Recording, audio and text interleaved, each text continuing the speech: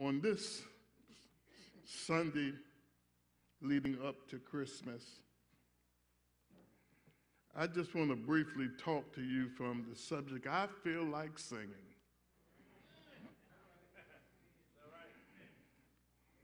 I feel like singing. My brothers and sisters, you can really tell that Christmas is right around the corner. The telltale signs of Christmas aren't too hard to find. The Christmas tree lots have sprung up in many places around town, and many of them have already sold out the majority of their trees. When you turn on the television, almost every commercial encourages us to run down to some store and take advantage of their big Christmas sale. As you enter and exit stores like Walmart and Target, the familiar sound of the Salvation Army bells ringing will reach your ears. It is pretty obvious, New Providence, that Christmas is right around the corner. But do you know what really makes me realize and know that Christmas is near? Apart from all the decorations, apart from all the lights, apart from all the Merry Christmases that I've received from people who would normally not speak to me, the number one thing that really brings home the reality of Christmas is the sound of Christmas music playing everywhere. Walk into any department store, Christmas music is playing. Walk into your favorite restaurant, and you'll discover that most likely you'll hear Christmas music. Turn your radio on, and most likely you won't have to wait too long before you hear a Christmas song. Many of us from our childhood learned the songs that were and are still traditionally sung at Christmas time. It's hard for some of us to remember the words to popular hymns like the old rugged cross, the words to what a friend we have in Jesus. But don't start singing Rudolph the Red-Nosed Reindeer or Jingle Bells. We will drown you out. I have discovered that when Christmas time comes around, something happens to people. People who regularly don't feel like singing catch singing frenzy. there is something about Christmas and singing that goes hand in hand. And while there is nothing wrong with singing the secular songs attached to Christmas, if you are a believer in Christ, if those are the only songs in your heart, if they are the only songs on your lips, then we are guilty of neglecting the greatest gift our God has ever given to us. Today, in our text, we have a great example of a Christmas song. In the verses of this Luke text, we find actually the very first Christmas song ever written. This song doesn't talk about jingling bells, doesn't talk about holly, doesn't talk about reindeers or Santa Claus. It has nothing to do with snow or sleigh bells. This first Christmas song has something to do with what makes Christmas Christmas. This song was all about sin and salvation. The free gift of God's grace sent to a fallen human race. This first Christmas song sung here in this Luke text was all about Jesus. This song was not sung by angels, wasn't sung by priests, wasn't sung by prophets.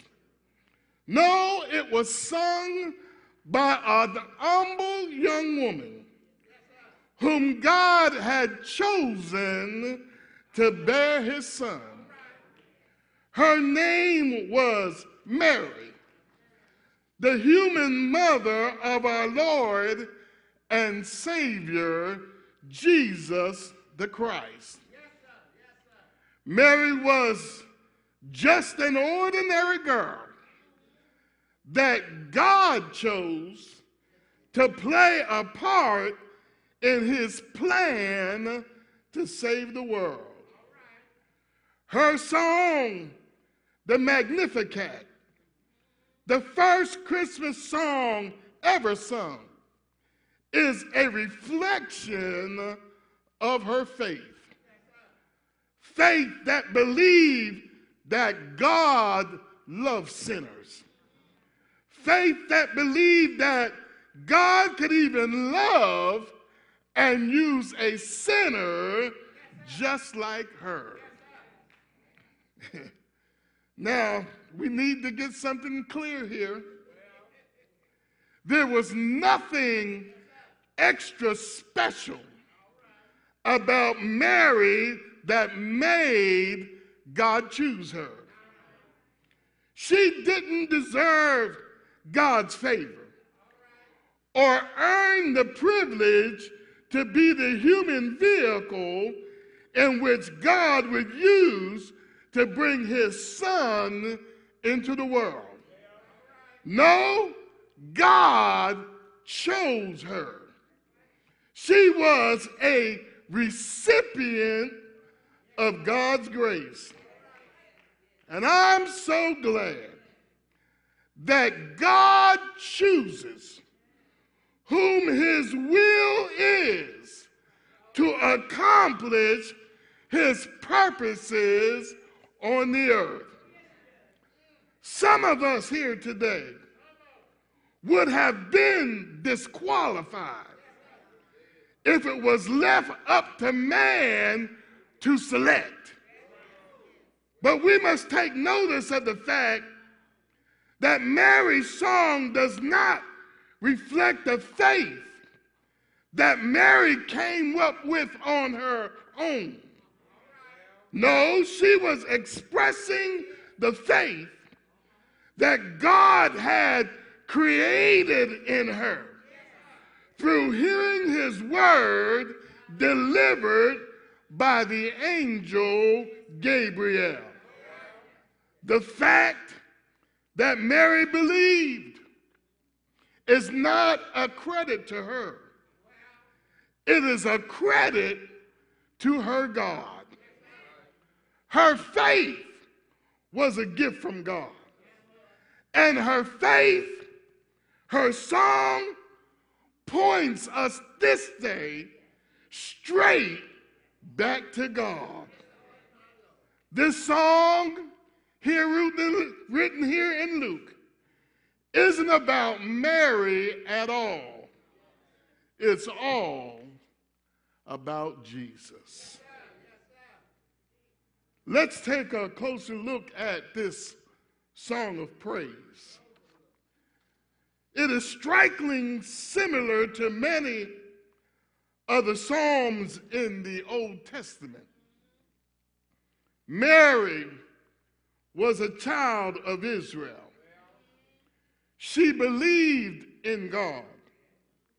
She had heard the word of God through the scriptures of now what we call the Old Testament. It is no wonder then that her song used some of the same words found in many of the Psalms.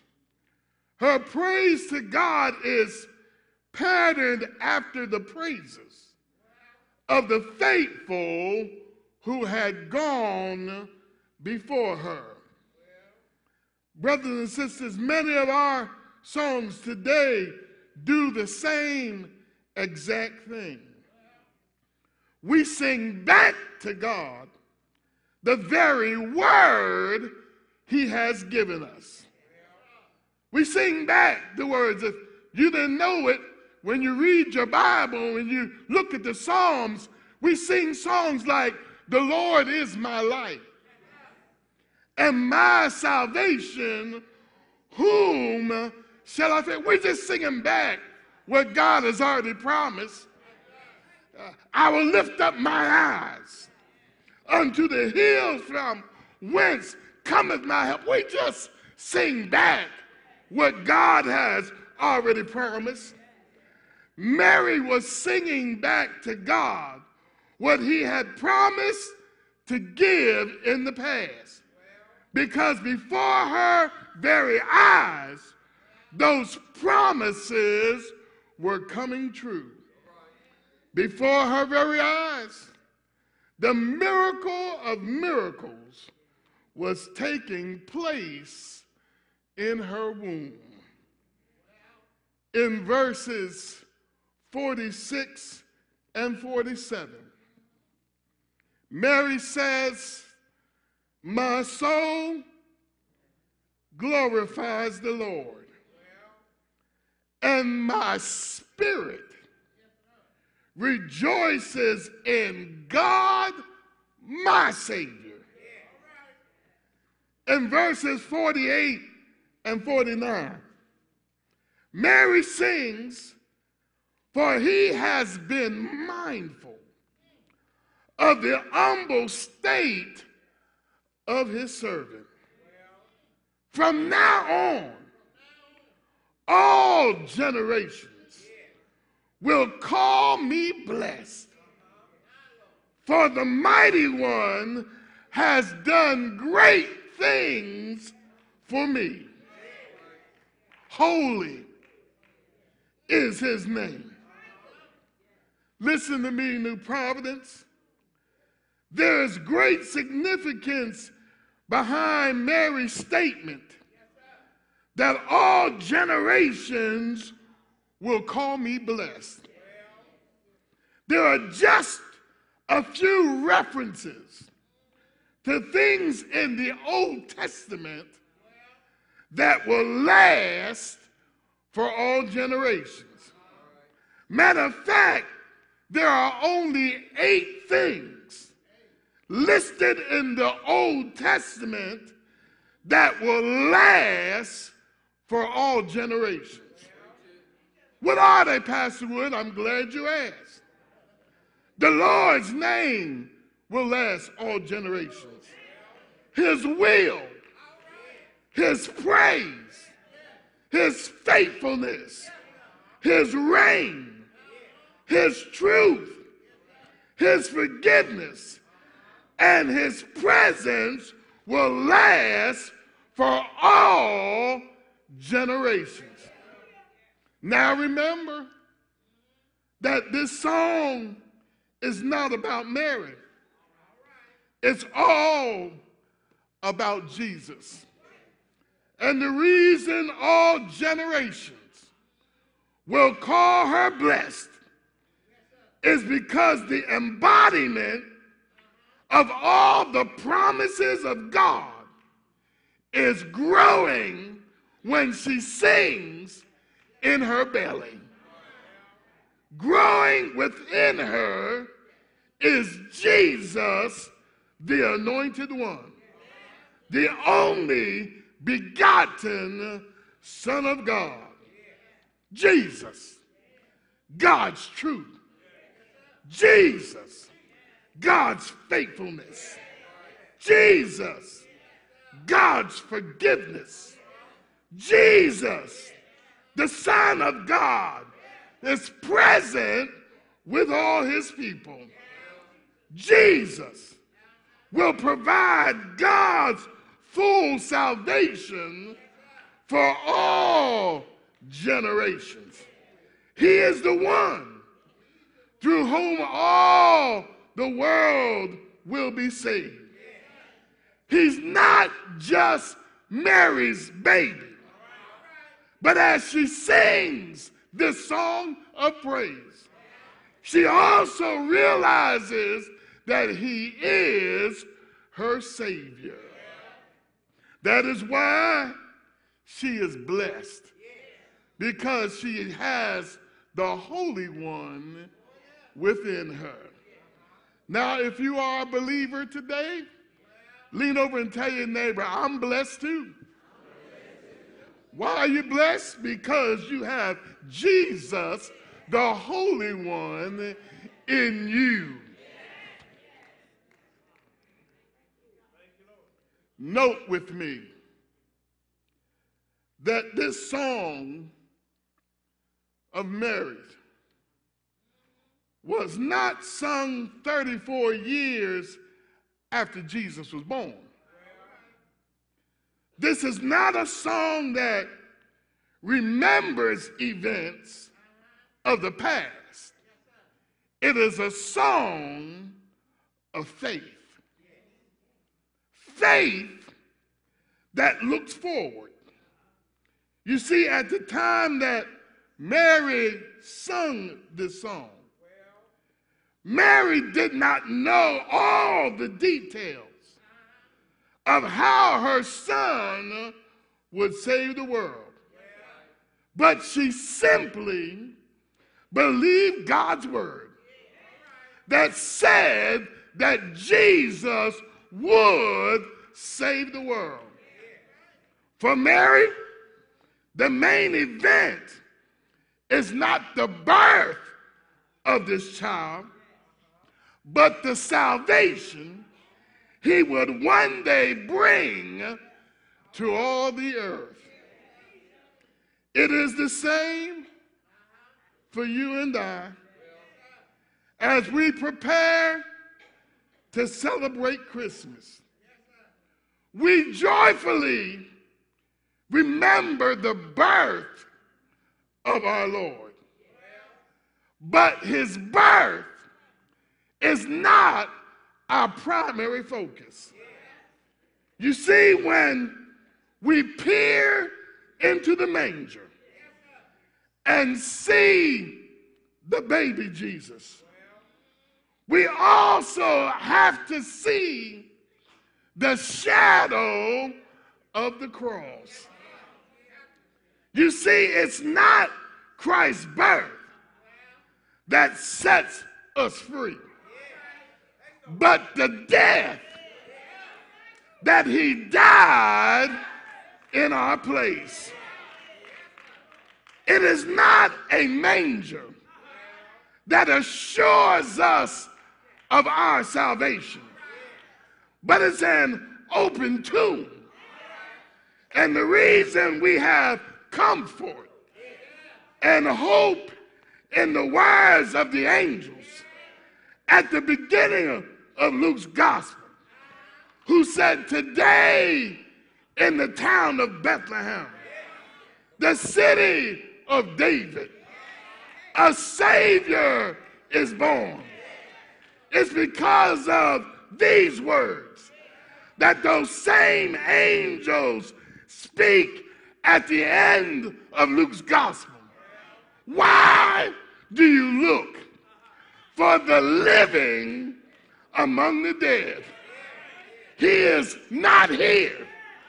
He is risen, just as he said.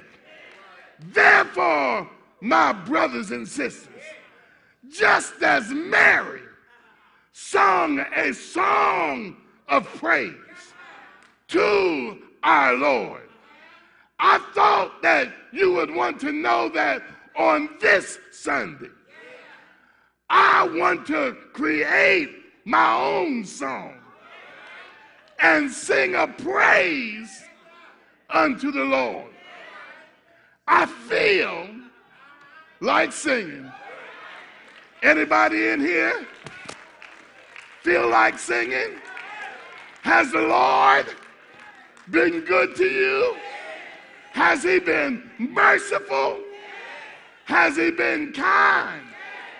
Has he brought you not from a mighty long way, but all the way?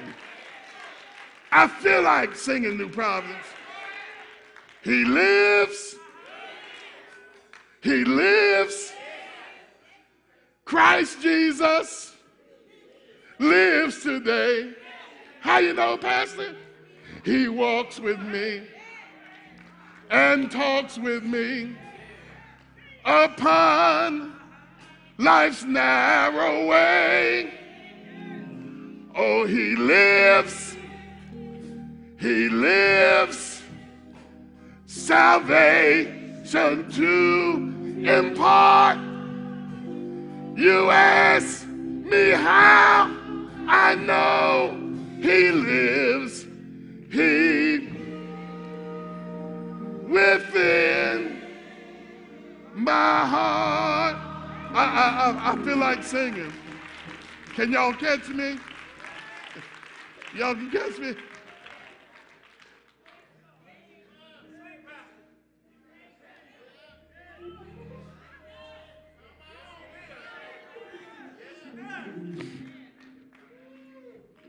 There's not a friend like the lonely. no, not one. no, not. None else can heal. None else could heal all my souls deep. No, not one. No. No, not one. No, not. Jesus knows all about.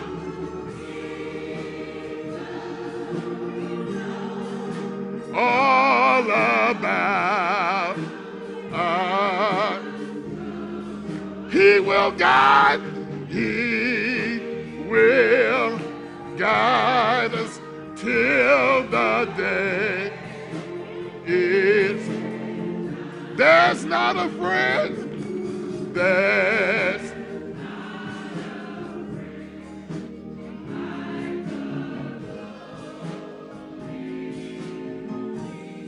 No, not one. No. No, not one. Come on, stand to your feet all over the church. Victory is mine. Victory is mine. Victory today is mine. Oh, I I told him to get because victory, victory is mine, victory, victory. Oh, victory today is mine because I told him to get oh victory. Come on and sing with me. Joy, joy. In, do you have joy? Do you have joy? Joy today is mine. Oh, I, I told him to get. I know joy today is mine. Happiness is mine. Happiness, happiness is mine. Oh, happiness today. I told Satan to get behind me. Oh, happiness. Lean over and tell your neighbor, say, I feel like singing. God has been good to me. And he's worthy to be praised on this Sunday morning. I told Satan, get victory today is mine.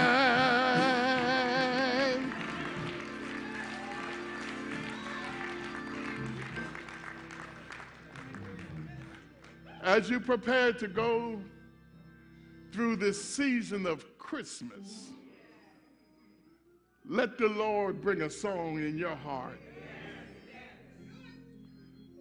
He'll do it every time. I refuse to be depressed. Point at your neighbor and say, I bind that spirit of depression.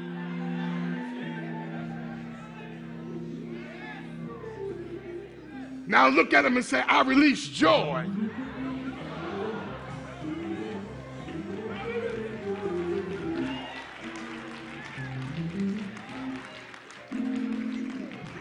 This is a happy time for us believers. For God so loved us that he sent into the world his only, it ain't about no gifts. Ain't about what's under no tree. If the Lord wake you up to wake up that morning, that's enough.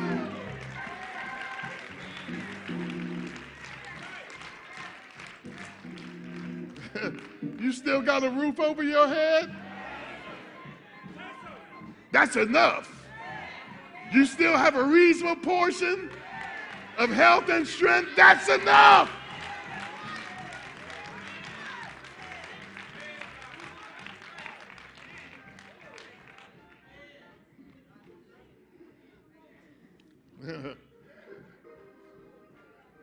Your neighbor, keep the song in your heart. Keep the song in your heart. Keep the song. Don't you let folk ruin your song